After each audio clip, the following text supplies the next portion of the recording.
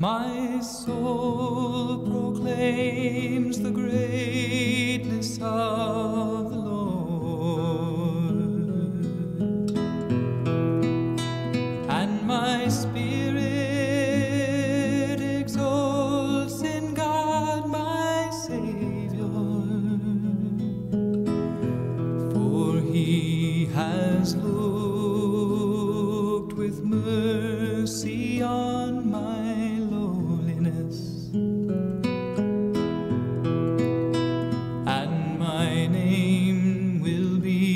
forever exalted.